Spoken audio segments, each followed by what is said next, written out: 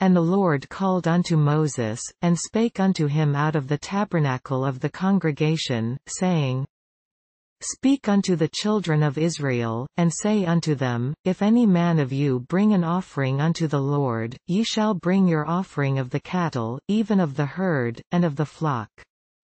If his offering be a burnt sacrifice of the herd, let him offer a male without blemish, he shall offer it of his own voluntary will at the door of the tabernacle of the congregation before the Lord. And he shall put his hand upon the head of the burnt offering, and it shall be accepted for him to make atonement for him. And he shall kill the bullock before the Lord, and the priests, Aaron's sons, shall bring the blood, and sprinkle the blood round about upon the altar that is by the door of the tabernacle of the congregation. And he shall flay the burnt offering, and cut it into his pieces. And the sons of Aaron the priest shall put fire upon the altar, and lay the wood in order upon the fire. And the priests, Aaron's sons, shall lay the parts, the head, and the fat, in order upon the wood that is on the fire which is upon the altar. But his inwards and his legs shall he wash in water, and the priest shall burn all on the altar, to be a burnt sacrifice, an offering made by fire, of a sweet savour unto the Lord. And if his offering be of the flocks, namely, of the sheep, or of the goats, for a burnt sacrifice, he shall bring it a male without blemish. And he shall kill it on the side of the altar northward before the Lord, and the priests, Aaron's sons, shall sprinkle his blood round about upon the altar. And he shall cut it into his pieces, with his head and his fat, and the priest shall lay them in order on the wood that is on the fire which is upon the altar. But he shall wash the inwards and the legs with water, and the priest shall bring it all, and burn it upon the altar, it is a burnt sacrifice, an offering made by fire, of a sweet savour unto the Lord. And if the burnt sacrifice for his offering to the Lord be of fowls, then he shall bring his offering of turtle-doves, or of young pigeons. And the priest shall bring it unto the altar, and wring off his head, and burn it on the altar, and the blood thereof shall be wrung out at the side of the altar. And he shall pluck away his crop with his feathers, and cast it beside the altar on the east part, by the place of the ashes. And he shall cleave it with the wings thereof, but shall not divide it asunder, and the priest shall burn it upon the altar, upon the wood that is upon the fire, it is a burnt sacrifice, an offering made by fire, of a sweet savour unto the Lord. And when any will offer a meat offering unto the Lord, his offering shall be of fine flour, and he shall pour oil upon it, and put frankincense thereon.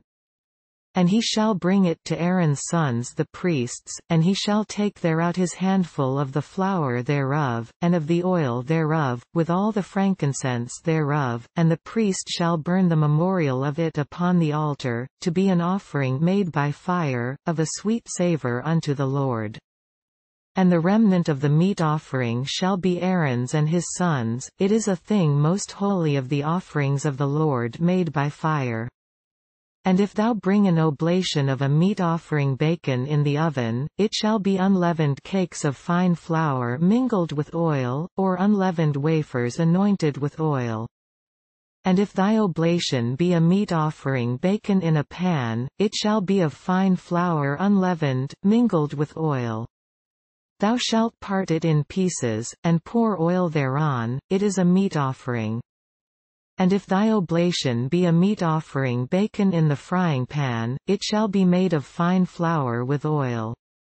And thou shalt bring the meat offering that is made of these things unto the Lord, and when it is presented unto the priest, he shall bring it unto the altar. And the priest shall take from the meat offering a memorial thereof, and shall burn it upon the altar, it is an offering made by fire, of a sweet savour unto the Lord. And that which is left of the meat offering shall be Aaron's and his sons, it is a thing most holy of the offerings of the Lord made by fire. No meat offering, which ye shall bring unto the Lord, shall be made with leaven, for ye shall burn no leaven, nor any honey, in any offering of the Lord made by fire. As for the oblation of the firstfruits, ye shall offer them unto the Lord, but they shall not be burnt on the altar for a sweet savour. And every oblation of thy meat offering shalt thou season with salt, neither shalt thou suffer the salt of the covenant of thy God to be lacking from thy meat offering, with all thine offerings thou shalt offer salt.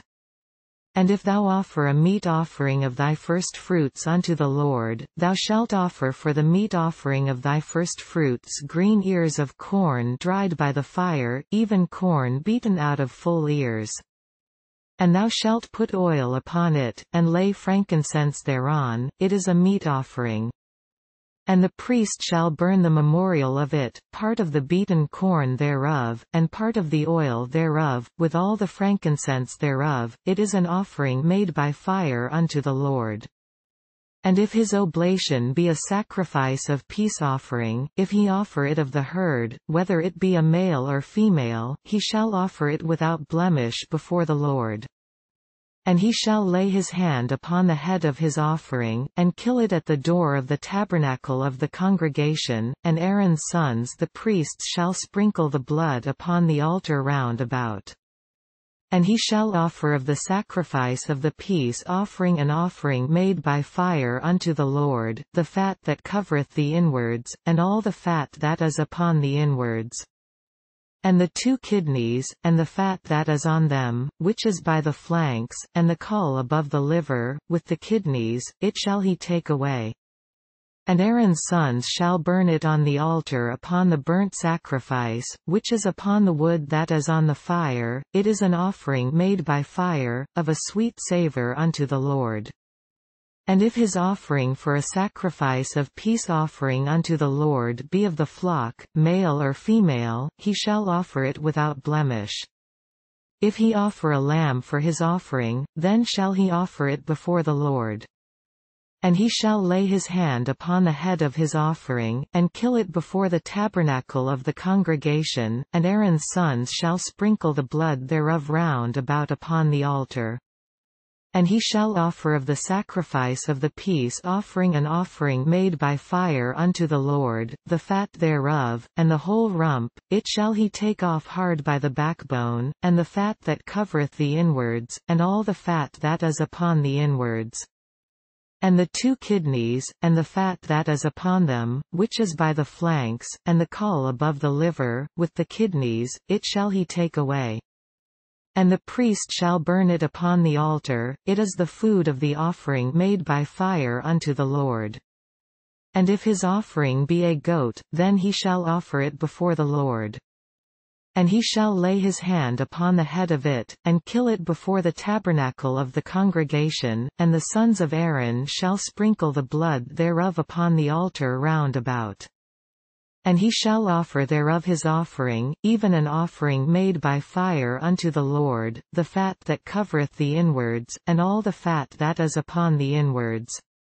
And the two kidneys, and the fat that is upon them, which is by the flanks, and the caul above the liver, with the kidneys, it shall he take away.